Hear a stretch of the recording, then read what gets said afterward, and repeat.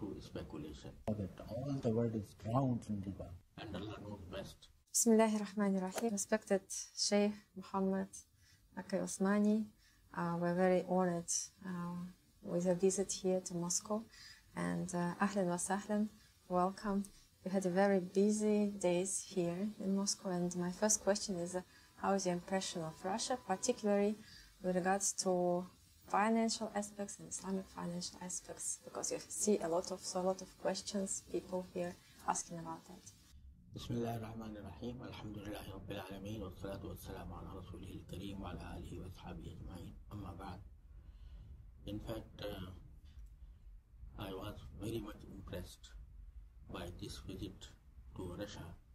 This was not my first visit to this beautiful country, but I have been here some 12 years ago also.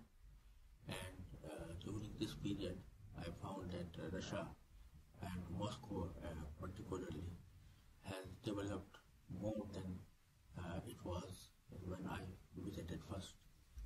So, and also it was very encouraging that uh, the people, I found the people very, uh, very uh, gentle and also very kind to me and uh, I enjoyed the hospitality uh, that uh, should be between the between brothers, Alhamdulillah. And uh, was very useful because Alhamdulillah we had certain uh, opportunities to discuss the uh, the uh, problems or issues facing Russia, and also we uh, come closer to understand e- each other and uh, particularly in the field of Islamic finance, it was very great uh, opportunity for me to introduce Islamic finance and the philosophy underlying it. And Alhamdulillah, it was uh, I had very good uh, discussions during these meetings, during these seminars, and I had an opportunity to speak on Islamic finance in detail I, Alhamdulillah, received a lot number of uh, questions very pertinent to financial matters, particularly for Islamic finance. And I had an opportunity to uh, clarify some uh, issues that were uh, disturbing the minds of many. So I think that this visit is much more uh, useful than it was in my first visit and I thank uh, the in fact the my brothers in uh, Russia and the public of Russia and the intelligentsia of the Russia. So I am very thankful for them to be very kind to me. And uh, first of all, thanks to you, and uh, Alhamdulillah that you have opportunity, such an opportunity to take knowledge, to take advice from you, Sheikh. And uh, you travel to a lot of countries. Uh, what do you think uh, is the level of understanding of Islamic finance in Russia now, comparing comparing to other Islamic and non-Islamic countries? In fact, I visited so many countries where Muslims are in, in minority, where uh, the the system is secular, but uh, I cannot say, uh, you know, for sure which country is more receptive uh, of uh, Islamic finance. But the meetings I have attended and the people I have met, both I found that are very eager to learn about Islamic finance and to experience it in their uh, business activities. And it is very encouraging for me. And uh, I could not, uh, in, uh, in fact, I will t- thank you, tell you frank, frankly that I did not, uh, did not imagine uh, such kind of service, uh, reception of Islamic finance as I found in this visit of mine. Okay. And uh, let's move directly to financial issues. Uh, the core uh, instrument of finance is money. So, what is the main specific uh, issue or issues of money? I mean, uh, what is the uh, difference between money according to Sharia and uh, is uh, according to the secular understanding. What are the main? Um, uh, This is a very pertinent question about Islamic finance. I have explained it in my lecture that uh, uh, money, the nature of money, the first uh, philosopher, according to my limited knowledge, who spoke about money and its nature was Imam Ghazali, rahimahullah ta'ala, some 600 years ago. He was the first person who spoke about money and about its, nature, and he said that money is not a commodity and it cannot be treated as such. So he said that uh, whenever money will be uh, made a commodity or uh, or considered to be a commodity, then it will uh, harm the uh, economic atmosphere uh, at large. And therefore, he, he after Imam Ghazali, there were, there were many philosophers who also said that it's a medium of exchange. So first, the first person who said, according to my limited knowledge, who said that it is a medium of exchange is Imam Ghazali. But uh, thereafter there came many philosophers who admitted that it is a uh, medium of exchange.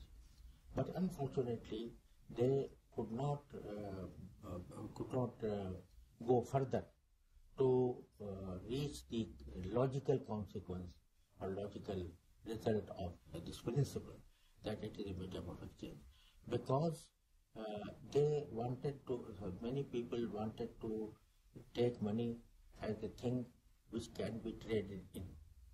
And for that purpose, the main obstacle was that in all religions, including Judaism, Christianity, Islam, in every religion, the riba, that is interest, was prohibited. So uh, at the very beginning, they tried to mis- uh, to interpret money or inter- interpret uh, riba or interest uh, as to make it a commodity in uh, in the sense that it may be traded in. So this once this obstacle was removed and this interpretation was uh, has dominated among the philosophers or among the uh, among the economists then they allowed interest on the basis that it was usury that was uh, prohibited. That is a, a consumption loan.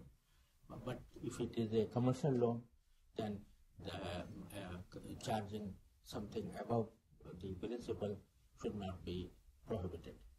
Once they uh, reached this conclusion, then it led to a number of uh, transactions uh, that were uh, not, uh, in fact, based on a, a, sustainable economy.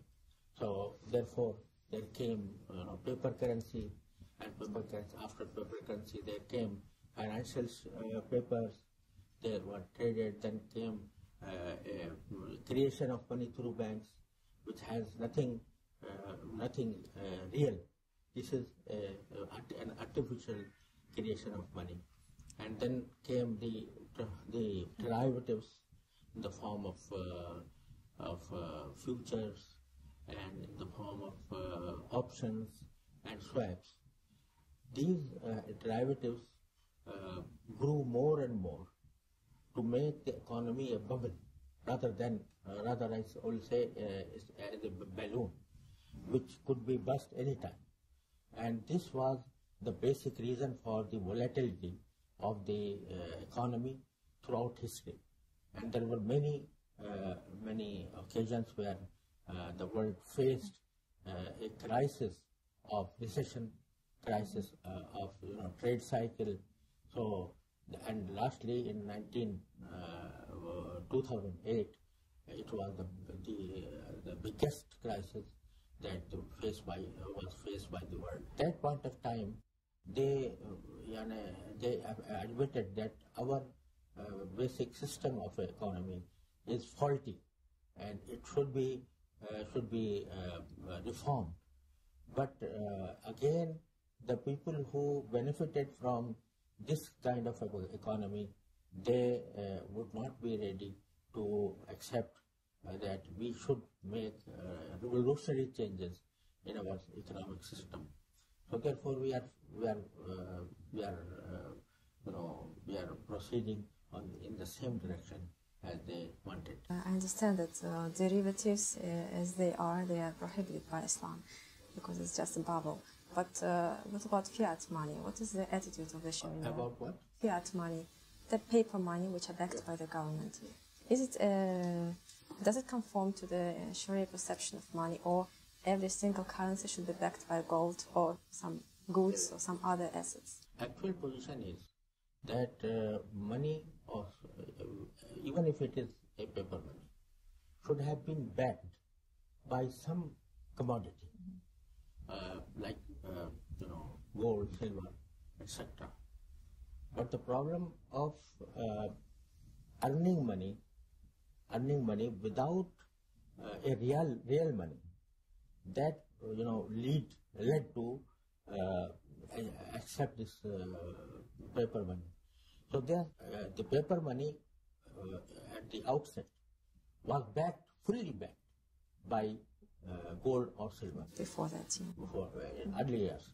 But uh, you know, unfortunately, there came a uh, you know fractional reserve system through which the amount of gold and silver behind the paper money reduced, and at the, at last moment, all the countries. Uh, you know, all the countries uh, said that we uh, don't have anything except dollars. But USA, you know, uh, announced for the whole world that um, I have dollars, and these dollars are backed by gold, and therefore any any time you can come to me and uh, you know get gold from us by, by showing this dollar. In 1970, there was the such uh, first time in which USA backed out and said that uh, we, I'm not able to give to you any gold or silver. So now we left, we are left with uh, such some papers only. There is nothing behind it. The same can be um, said with, uh, about uh, cryptocurrency because they're not backed by any goods. And uh, as you mentioned during one of the lectures, that uh, you are not ready to give any fatwas or decision about that. But uh, can we conclude that cryptocurrency uh, have the same drawback uh, as the fiat money? This is one thing. And the other thing, as you mentioned, there is pure speculation as far as uh, I understand. No, uh, there is uh, some basic uh, basic differences between paper money and uh, between and uh, cryptocurrency. The basic difference is that even though the paper money has no backing at the moment, but still they are backed by by a basket of uh, basket of uh, goods and, and services. You know, if uh, go to any country, these notes or currency notes, they are backed by uh, index of uh, of uh, goods and services. But conversely, the cryptocurrency has no, no such backing so far. You know, it was the first, first. It was just you may was uh, invented by a person who is not known so far, and then uh, he uh, started uh, to you know to uh, market it, but he couldn't. The first transaction that he undertook was to buy a pizza, buy a pizza through uh, uh, this this type of currency. So then uh, speculators came in and they raised they, at that point of time I think it was hundreds of uh, hundreds of uh, uh, cryptocurrency uh, for uh, a dollar. Now came these speculators and now it uh, raised the price of these um, Bitcoin large amount and so it goes up, goes down through speculation. Therefore, this is the basic difference between paper money and cryptocurrency. So to sum it up uh, about the problems in the financial system, in the currency system of currency, uh, we can say that uh, the globe now is standing on the edge of a financial crisis, can, which can arise anytime because of the reasons you mentioned. So, uh, do you see any solution to this uh, uh, threat? And what can be done to overcome it? Is there anything can be done, or it's just a matter of time the crisis will You know, the, the basic solution is, according to me, and Allah knows best, that uh, we should uh, go back to uh, to treat uh, money as a medium of exchange, except in the cross-border transactions. In cross-border transactions, we need to have to exchange uh, some currencies with other currencies. So we we should uh, should uh, limit the uh, exchange of currencies to the cross-border transactions only. But if you analyze the present situation, is that the money or you know the currencies are sold and bought by uh, speculators, and uh, a very tiny uh, percentage of these transactions is for the trade purpose. Otherwise, it is just a speculation. Yes, but it refers not, not only to the currency, but to the shares also, and uh, to the even to commodities. To a lot of kinds, like we speak about grain, Yes. the same. The speculation is everywhere. Yeah. But this speculation uh, is the basic cause of uh, this, this crisis. And therefore, in, from Sharia point of view, if I speak uh, from Sharia point of view, stocks should be traded in, no problem. But they should not, there should not be short sales. There should not be, uh, you know, short sales in the sense that you uh, sell something you don't own. So this is prohibited from Sharia point of view. So if we uh, restrict our uh, stock exchange uh, transactions with without short uh, short selling, then the problem can uh, can be solved for purpose. As far as we started to speak about shares, AAOIFI Sharia standards, and you are heading the Sharia Council of AAOIFI, set up certain criteria for shares to enable Muslims to or other investors to invest according to the Sharia. And those criteria involve some, some part, part of uh, prohibited income, like up to 5% of prohibited income and up to 30% of um, interest-based loans uh, on the total market uh, value of the company. So, uh, and some other criteria. Uh, so um, there are actually two questions regarding that. The first it is uh, why is this compromise? Is uh, because it is there is a part of prohibition in the company. It, it, it exists. And the second one, if we speak about Russia, and if we screen the companies which are at the stock exchange, we cannot find even companies which comply to those criteria because the amount of debt of these companies is huge, much more, yeah. Uh, in fact, as you rightly said, this is a compromise. Not it's, it's not uh, a, a, an ideal situation. It is a compromise. This compromise is based on necessity, not uh, not uh, as a principle. As a principle, even five percent should not be uh, should not be taken. But you know, there is necessity in the, sense that the whole world is, uh, you know, uh, the business of the whole world is through the companies. So if we prohibited uh, prohibit purchasing any kind of stock, then the people will be without any uh, any uh, particular uh, type in which they could invest, uh, you know, according to Sharia. For that purpose, this, this com- uh, compromise was. So, uh, but the ideal is, is not an ideal situation. Now, once this is a this is a compromise, you know. So this compromise, based on necessity, based on, on real need, it may vary from country to country. This is, uh, you know, so this may vary from country to country. Therefore, there are some countries in which not uh, 30%, but also some, in some cases, 40% was, was allowed. So it's a matter of local fatwa, like Local. something like that. And speaking about investment, uh, a lot of Muslims in Russia are asking or what is the best way to invest? They have some funds, maybe smaller bigger funds. What is the best way to invest? Where to invest? Because uh, we speak about stock market, but uh, is it the best way? I'm not fully aware of the uh, tools or the channels in which uh, the money could be invested. But uh, I feel that if there are some funds, there are some investment companies. I heard about some com- companies that have been established in Russia, Islamic. Islamic investment companies. Uh, you know, today I think we met some people from Kazan who have such kind of com- And uh, companies. Dagestan. Yeah, also. in in also Dagestan, which investing companies should be used for investment. And if uh, you know, uh, and, uh, the stocks are analyzed, you know, and there was a time when in even US, you or any other country, you could hardly find a company in which a, uh, a halal investment may be done. Those criteria. Yeah.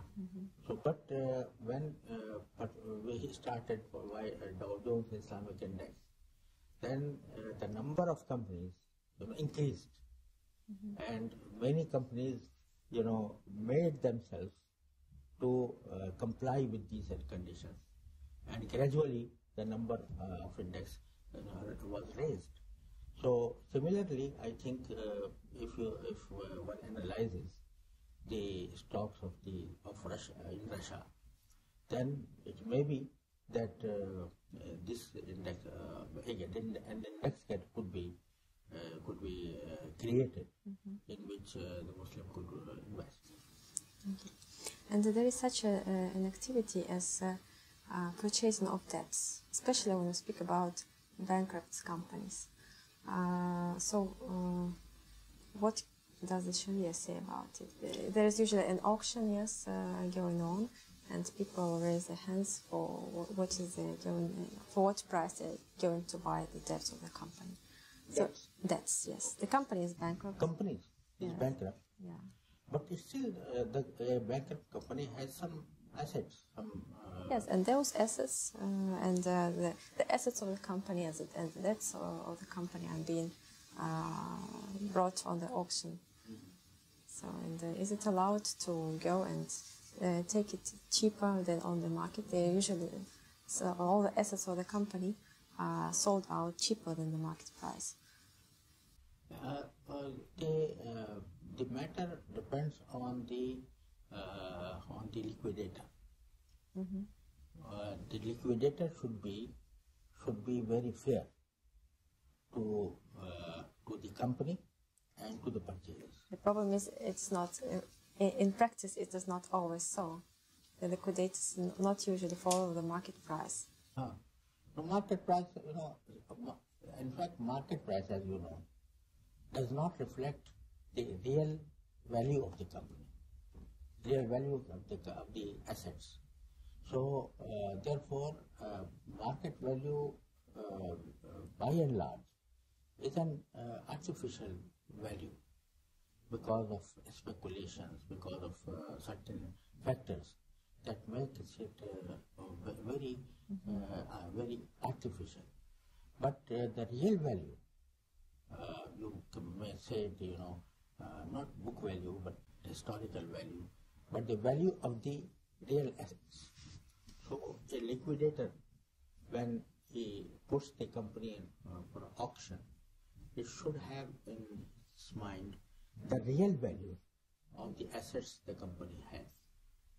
So it may be less than the uh, the market price, but uh, it it will reflect the real price of the of the assets owned by the company. So far as debts are concerned, the debts cannot be traded you know, according to Sharia except uh, to a par value. But uh, uh, in case the debts, there are real assets and debts both. Then uh, there is a, an, a principle in Sharia uh, that they are not really, uh, really, uh, really the object of, of the purchase, of purchasing, but they are, uh, you know, uh, uh, tabe, what do we call it, uh, tabe to the uh, that means yani, uh, they are uh, Relevant or going on, like yeah, uh, related to. really, or related to the uh, to the. If I uh, I want to buy debt, so that this is not allowed. But if I am uh, purchasing a business which comprises some assets, real assets, and also some debts, then I can do that. And uh, a small question about nisab in gold and nisab, nisab in silver. What's the difference between? Yes. And uh, so, what uh, should the Muslims like be oriented according to which kind of nisab? You know, uh, at the moment, normally uh, silver has been taken as the basis of nisab. Silver. Okay. Silver. The minimum one. Yeah, Okay. minimum one. So that because it is more beneficial to the poor people, poor people. But uh, there are some countries in which uh, in which uh, the the difference is so high that even a person who um, who owns, for example, uh, some uh, percentage of silver is not cannot be regarded as a person who is able to give something in charity. Therefore, in, the, in that case, there are many options. We have in fiqh many options. So in some ways, some, some uh, contemporary scholars say that then in that case we could uh, could base our nisab on gold, not on silver. And some people say no, there is uh, we still uh, will base our nisab on silver, but uh, calculating the uh, silver nisab, the matter, uh, the, the the way of calculation will be some different. You know. Okay. So it's uh, again a matter of Yes. uh, the local local uh, factors. And uh, uh, my last question is uh, refers to your purpose of the visit actually to Moscow, the project uh, Agrofin Most or Agro Financial Bridge, which is uh, uh, involves uh, uh, increase of exports of agricultural goods in Russia, and uh, with the with- the use of Islamic financial instruments such as sukuk. Uh, and there are two actually questions. First is why Islamic investment do not come to Russia until now? Just briefly, maybe your opinion, if you if you have any. And the second one, uh, what do you think about the trends in the sukuk market? I heard that um, there is lack of uh, uh, supply of the sukuk, and that's why there is over, over sub- subscription to many issues of the sukuk. And uh, do you think that uh, Russia should issue sukuk on the foreign exchange? Uh, and wh- where should it be? Dubai, Bahrain, or any other?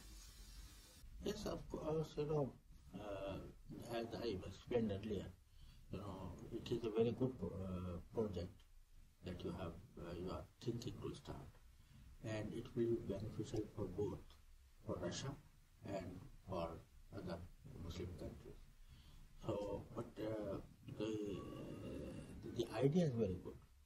But uh, uh, in order to practice it, we have to uh, and study the uh, the uh, uh, the involved issues very deeply, and if we are able to uh, to uh, carry out a structure which is uh, Sharia compliant at the one hand and also beneficial for both parties. So I think it will be very useful. And uh, the sukuk, if, if the sukuk are issued on that uh, on that basis, they have a good market, inshallah. And which uh, uh, on which stock exchange? So it should be sukuk in USD or in some other euro in some other international currency. But where? What is the country where to come with this issue to to to to, to sell the I think bonds? UAE will be, will be UAE will be the, UAE is uh, one of the in, centers. in, a, in the best position to to such such a sukuk. I think a lot of people have a question. How did you come to this sphere? فقه معاملات المالية and uh, sphere Islamic finance. Fear of Islamic finance are uh, both sides. You know, there is a fear from those who do not uh, really understand what Islamic finance is. So they say that when we uh, speak about Islamic finance, it means that uh, we are Islamize the whole country. So this is not true. No, uh, so this is from one side. The other side is that, that when uh, people outside Russia, they, they are a bit apprehensive what will happen to their uh, capital or their investment. So this uh, kind of fear should be removed by firstly by uh, by uh, explaining the real sense of Islamic finance and to uh, the outer world that it, is the best place for investment.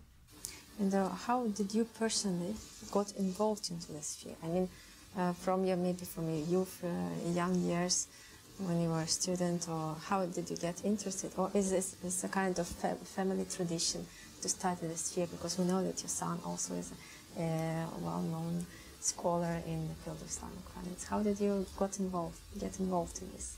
I was I got involved because uh, when I uh, read the Quran, and the, the Quran says that uh, whoever is involved in interest is waging war against Allah subhanahu wa ta'ala. This was very alarming statement by the Holy Quran. So I uh, tried uh, that when I saw that all the world is drowned in riba, uh, in, uh, usually on interest. So I, you know, my conscience uh, led me to the effort that this kind of war with Allah should be, should be uh, removed.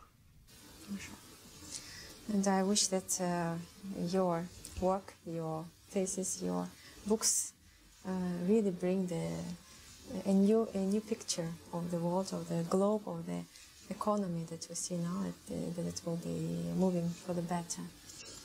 And uh, um, coming back to the project of uh, Agrofin Most, um, you have uh, been invited to enter the council, the board of the project. And which kind of advice can you give, like step by step, or what are the main uh, important points uh, the project team should focus on to succeed? I think uh, first of all they uh, you know to- they make an effort to reach a, be- a better structure Structure. uh, for uh, issuing sukuk. And it will be it will be required uh, two things. One is uh, help from Sharia scholars, and the second is to uh, to the experience of the of the professional persons Sheikh, thank you very much. Jazakallah khairan for your time, for your profound answers, for your visit, and we hope that this is your first visit uh, in a series of visits to Russia, and we'll see you again and again and have opportunities to share, Let me take knowledge uh, from you. let me uh, explain to you. Ask that uh, uh, whether the people will be interested uh, in the investment in uh, Russia. You know, there was uh, a, uh, a, a, a kind of fear so Yeah, far. yeah. You know, Lack of trust. Lack, lack of trust. lack of trust and, and some kind of fear. But uh, we are, we are, you are in Russia's uh, present open policy that will remove this fear, inshallah. So as soon as far as you go on that line, to be open for all the world, for, for the whole world. So I think uh, this obstacle may be, may be removed, inshallah. Inshallah. Jazakallah khairan. Thank you.